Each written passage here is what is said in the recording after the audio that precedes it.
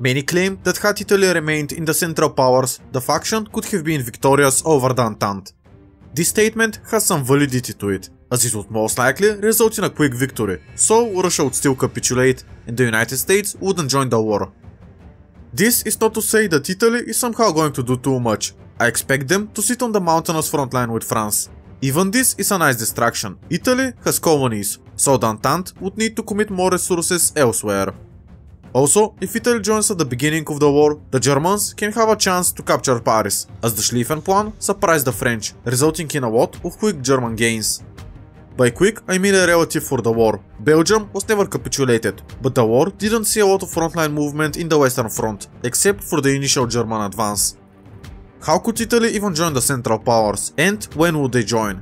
Does this move allow for the Central Powers to be victorious? Let me show you what I came up with.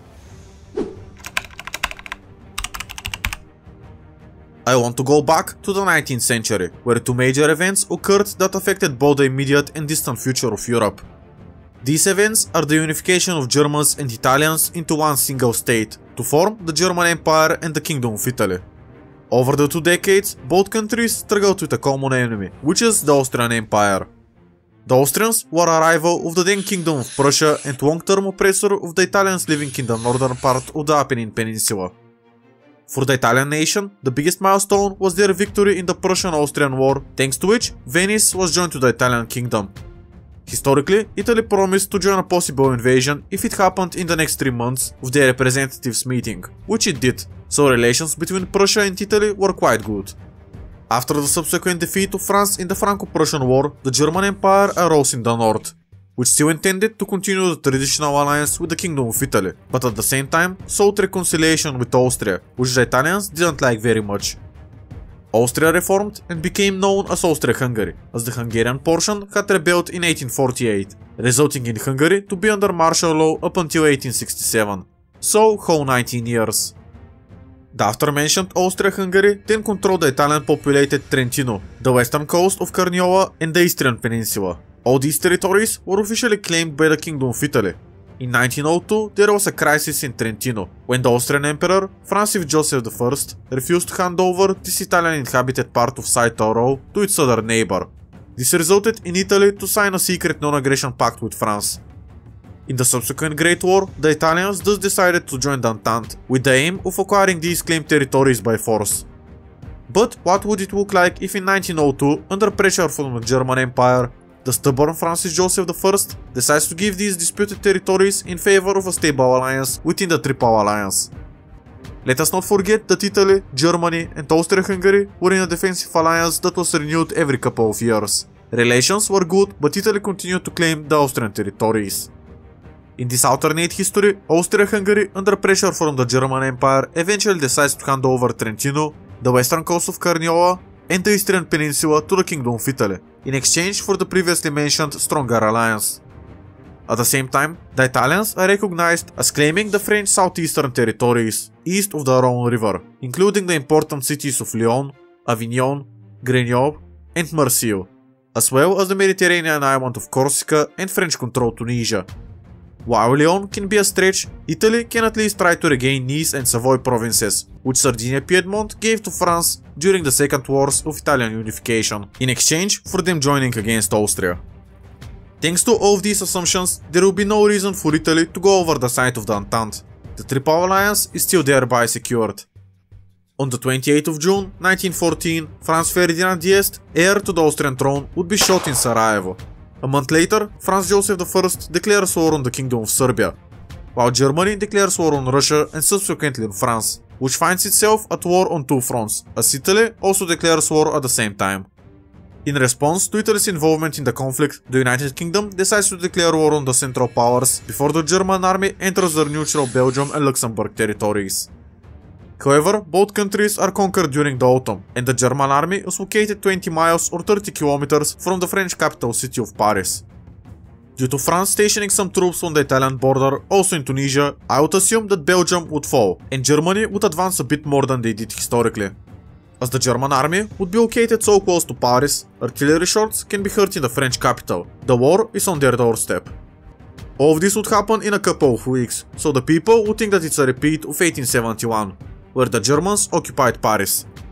The desperate French, with support of the British, would try to hold their ground, but the battle on multiple front lines began to quickly weaken the morale of both armies. After breaking the French lines, the Italian army entered the southeastern corner of France, with the aim of occupying Marseille, which they finally succeed in October. Speaking of the successes of the Central Powers, I have some coins from all of these countries. This is a German silver half mark. Then we have the Italian centimes. This is 10 Heller from Austria, and this is 20 Fillér from Hungary. If you do not know, Austria-Hungary used to have two currencies. I hope you learned something new today. I also wrote a book, it's about Germany losing so bad that a Kaiser flees to Tanganyika, where he establishes a government in exile. If you're interested in purchasing this book, check the pinned comment or in the video description. There is an ebook and physical copy available worldwide. Now, back to the video. The Russians managed to conquer most of Galicia in the meantime, as the Central Powers resources would be used elsewhere. But now that France is on the verge of capitulation, the Germans decide to send part of their divisions to the east. This is so they can prevent a possible Russian invasion of Slovakia and Carpathian Ruthenia. Meanwhile, the Serbs are successfully defending themselves, but that would soon change. At the beginning of 1915, Bulgaria and the Ottoman Empire would join the Central Powers. As a result, the Eastern Front is more stabilized and the Italian fleet, supported by the Ottoman one, prepares to land in Malta and Cyprus, which will happen in the spring of the same year. Meanwhile, the Italian army succeeds in conquering Tunisia, while the Ottoman begins to approach the Suez Canal. For simplicity's sake, Serbia would capitulate soon after Bulgaria has joined, and I assume that Albania would get invaded, as the Central Powers wanted to chase the Serbian army. The Italians can be very useful in blockading the Adriatic Sea and to help combat in Albania. The Central Powers has the initiative instead of the Entente. France has never taken any initiative and are simply responding to the offenses of the Central Powers. This is why France would perform so poorly. If you think that's unrealistic, let me remind you that the French military uniforms looked like this. The problem is that they're too bright, so the Germans would easily locate them and bomb them with artillery. The French would need a lot of time to take all the uniforms out and replace them with something else urgently. France is not as strong as they were historically, so they would be very vulnerable at the beginning of the conflict. In the summer, the Germans, together with the Italians, start a campaign with the aim of forcing the French to sign an armistice. The Germans push the Entente armies as far as Normandy. Thus, massive strikes and desertions begin to occur throughout France. The French decide to abandon the southeastern territory east of the Rhone River and fall back to a more defensive position and focusing on defending themselves against the Germans. The Italians occupy all of these territories, which would greatly boost the Italian morale. Let me remind you that the Italians are mostly occupying empty lands, such as Tunisia, and doing naval invasions on some islands. They are still very incompetent as ever, but it just so happens that the French are more incompetent this time. As for the fighting in North Africa and the Middle East, the Italians have already managed to conquer all of Tunisia, while the Ottoman Empire already controls both Kuwait and the entire Sinai Peninsula.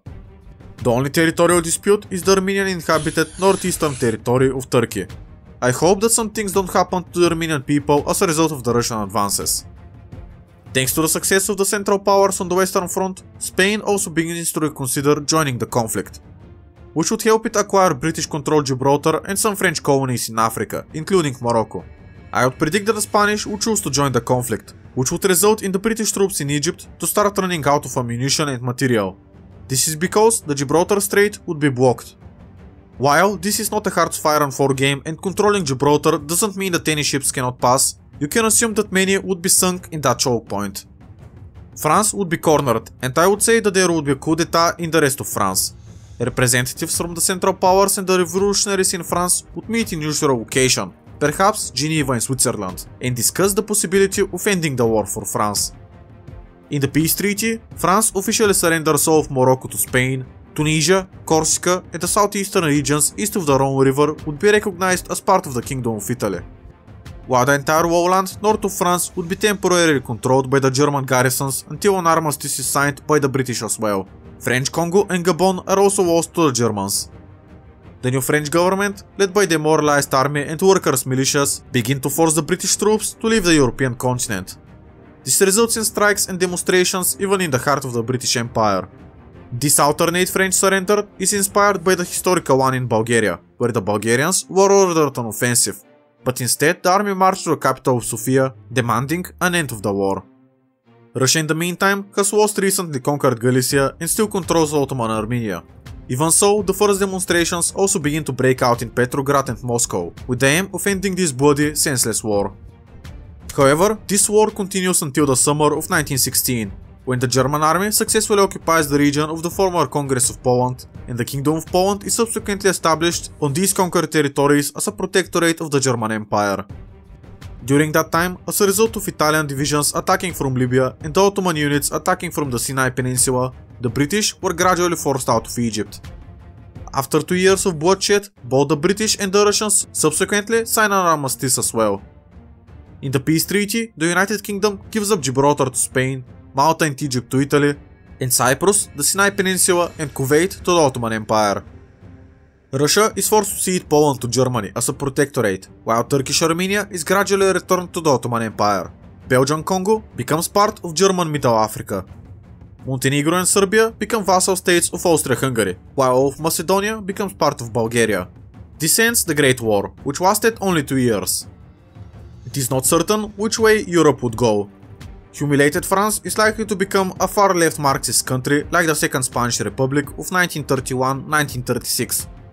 The United Kingdom is likely to follow in the path of ultranationalism, and Russia, well Russia is threatened by both scenarios. In Austria-Hungary, in which the Emperor Francis Joseph I dies in 1916, his democratically oriented great-nephew Charles I becomes the new monarch who, since the beginning, starts to strive for a reformation and federalization of the empire. Galicia and Bukovina are handed over to the newly created Kingdom of Poland in order to get rid of Polish nationalists. At the same time, it is supposed to guarantee a strong ally in the event of future Russian aggression. This is possible as Poland is German client state, most likely ruled by the relative of the Kaiser, and Austria-Hungary is a German ally, so it's not a big loss. Thanks to the then publicly known Charles I's love and admiration for the Czech people, the Czechs gain autonomy just like the Hungarians did in 1867. At the same time, this is a step that would prevent further assassinations of future heirs to the Austrian throne. During the 1920s, the new federal monarchy became a constitutional democratic one, similar to that of Britain at the same time. Neighboring Germany on the other hand is becoming more authoritarian power, strengthening its hegemony over in Africa. Meanwhile, Italy also becomes one of the greatest colonial powers in the world. Unlike Germany, however, it retains constitutional form. Egyptians, Tunisians and French are given local autonomy in order to gain the favor of the local people. Unfortunately, neighboring France is gradually becoming an increasingly radical leftist republic suppressing human rights. As for Britain, with the help of the Labour government, it is trying to stabilize the country economically, but its anti-war and anti-military policy is caused by the dissatisfaction and above all the unemployment of the British soldiers and officers. This will result in a gradual return of the days of the absolute monarchy after the death of King George V in 1936, as his son Edward VIII is this time far more popular than his brother George VI. Thus, since the second half of the 1930s, the United Kingdom is beginning to become an ultranationalist absolute monarchy, which will certainly cause a wave of trade union strikes, but the gradual decay of democracy will not be ultimately prevented. You can think of this like the Kingdom of Italy, where King Victor Emmanuel III appointed Benito Mussolini as Prime Minister. At the same time, France would most likely find itself in a civil war between royalists and Catholics, seeking to end the anti-clerical terrors of the French communists and socialists, trying to stay in power.